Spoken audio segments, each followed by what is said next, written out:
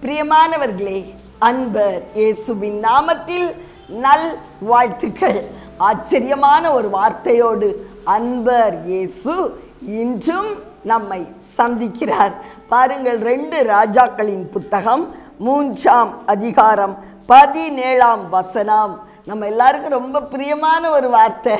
நீங்கள் காற்றையும் காண மாட்டீர்கள் மழையையும் காண மாட்டீர்கள் ஆனாலும் நீங்களும் உங்கள் ஆடு மாடுகளும் உங்கள் மிருக ஜீவன்களும் குடிக்கும்படிக்கு இந்த பள்ளத்தாக்கு தண்ணீரால் நிரப்பப்படும் என்று கர்த்தர் சொல்லுகிறார்.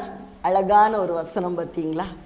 பிரியமானவர்களே நம்முடைய கவர்மெண்ட்ல நிறைய நல்ல காரியங்கள்லாம் இந்த நாள் அறிவிக்கப்படலை. செய்திகள் எல்லாம் வேறு விதமாய் தான் வந்து கொண்டு இருக்கிறது அப்படித்தான் நம்முடைய அரசியல் சூழ்நிலைகள் காணப்படுகிறது. பொருளாதார சூழ்நிலையை பார்த்தா காற்றும் இல்லை மழையும் இல்லை.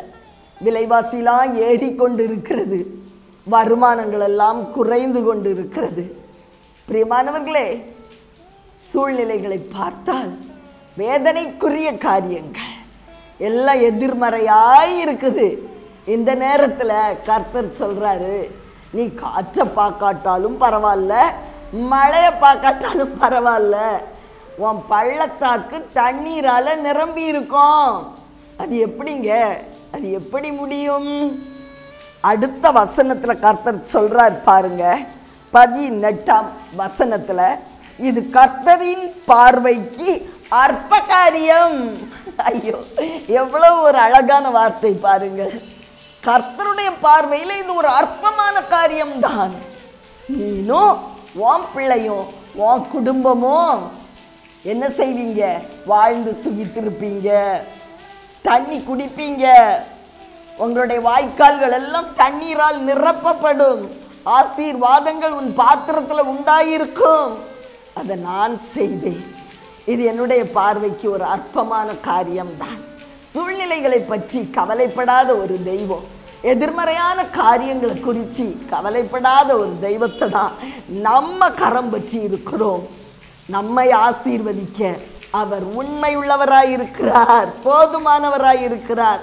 அவருடைய ஆசீர்வாதங்கள் இந்த நாட்களில் எதிர்மறையான நாட்களில் நம்முடைய வாழ்க்கையில் கடந்து வரும்போது தானே அவருடைய மகத்துவத்தை நாம் துதிக்க ஆரம்பிப்போம். அது நடக்கும் பிரியமானவர்களே. இன்று முதல் நடக்கும்.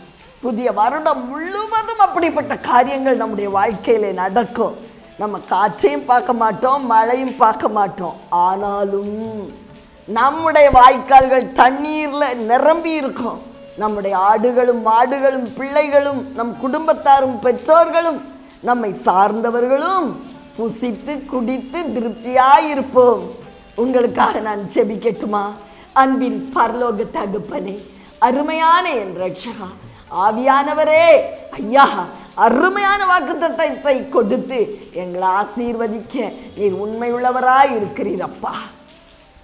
இயற்கைக்கு அப்பாற்பட்ட இயேசு என்னும் நாமத்தில் என் ஜனங்களை விடுதலையாக்கி ஆசீர்வதித்து நான் செபிக்கிறேன் இயேசுவின் நாமத்தில் பிதாவே ஆமே பிரியமானவர்களே இந்த சேனலை மறந்து விடாமல் சப்ஸ்கிரைப் செய்து கொள்ளுங்கள். நாங்கள் தினம் வெளியிடுகிற வேத தியானம். அதை நீங்கள் காண தவறாதீர்கள். அநேகருக்கு அறிமுகப்படுத்தி வையுங்கள்.